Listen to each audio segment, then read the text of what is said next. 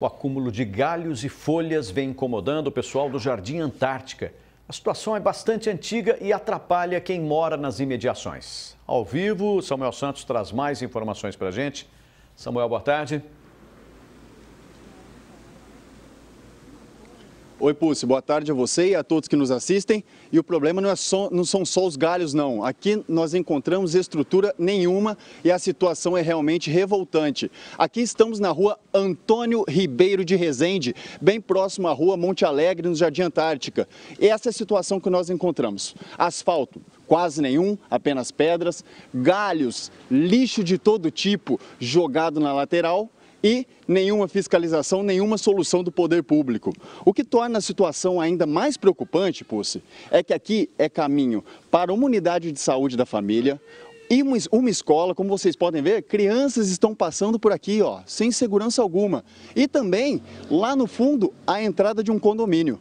Eu vou conversar aqui com pessoas que convivem com esse problema todos os dias. Uma delas é a enfermeira, a Lívia, que trabalha na unidade de saúde lá na frente. Como é a rotina de conviver com isso? Ambulâncias passam por aqui? Conta um pouquinho para a gente. Boa tarde. Exato. É, eu trabalho nessa unidade há aproximadamente três anos. Desde, desde então, esse pro, problema já existia, tá? É, e nós começamos mais ou menos assim, de maneira é, formal, a realizar solicitações há mais ou menos há um ano, para é, tentar pavimentar a via pública, né? E para retirar, porque sempre tem essa rotina de sempre ter lixo e entulho jogado tanto na lateral da rua, né? Como na, na via pública mesmo. A gente já tem solicitações é, junto à prefeitura, junto, junto ao 156, desde setembro de 2016, tá?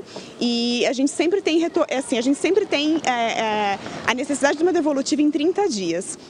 A gente nunca recebeu devolutiva desde que fizemos essas solicitações, tá? Então a gente nunca teve nenhuma devolutiva em relação assim, prazo, a tempo, se iriam fazer ou se não iriam fazer.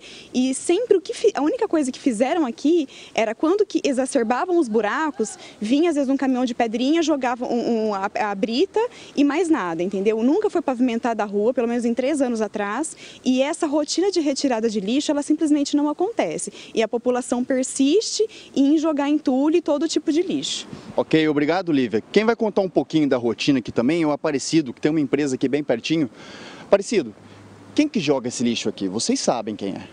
É, são pessoas que, que, não, que carregam entulho, caminhão, isso aqui provavelmente foi caminhão que jogou esse entulho na rua. Essa rua a gente já pediu muitas vezes qual o nível, se você olhar o nível da rua, da, do meio fio com a, com a sarjeta, não tem condições de andar, é perigoso bater um carro. E aqui você pode ver, tem casqueiro que usa esse terreno ao lado, já roubaram fiação, roubaram relógio d'água de força. Então é impossível sempre transitar por uma via pública dessa. O desprezo da população é muito grande. Ok, obrigado Aparecido pela sua participação no Jornal da Clube. Bem, como vocês viram, nem parece zona urbana de tão precária que é a situação. Nós comunicamos à Prefeitura hoje de manhã, eles prometeram enviar responsáveis aqui, dos setores responsáveis, para providenciar o reparo. Então, a população pede urgência. Eu volto com você, Pus. Agora é esperar, né, Samuel? Vimos então aí no nosso link a Lívia, que é a enfermeira moradora do Jardim Antártica, também o senhor Aparecido, acúmulo de lixo e entulho no bairro. Obrigado, Samuel.